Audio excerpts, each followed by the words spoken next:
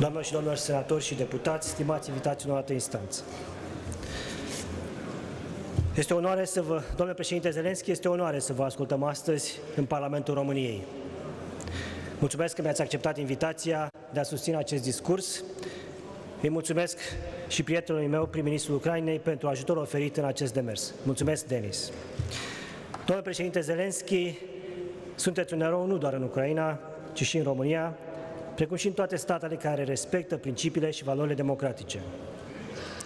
Curajul și perseverența de care ați dat dovadă, dumneavoastră și poporul ucrainean, în această perioadă dificilă pentru Ucraina ne inspiră pe toți.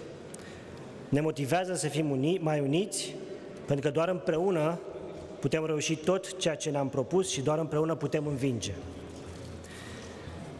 Este inadmisibil ce se întâmplă acum în Ucraina.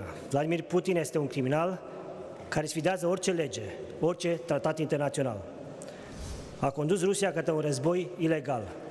Masacrul de la Bucea nu trebuie să rămână nepedepsit.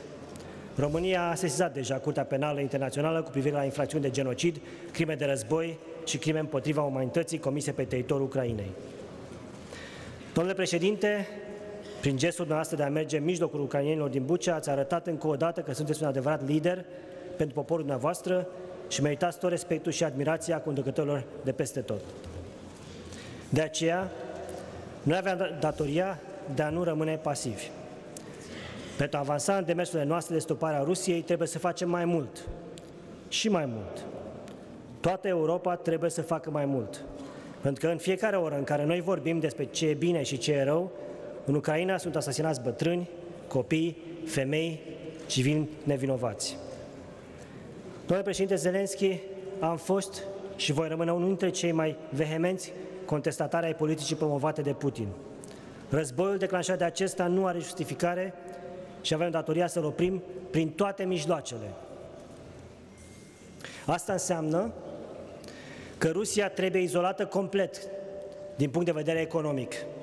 Poate că unii cred că este o măsură mult prea dură, dar niciun răspuns nu cred că e suficient de aspru pentru atrocitățile provocate Ucrainei.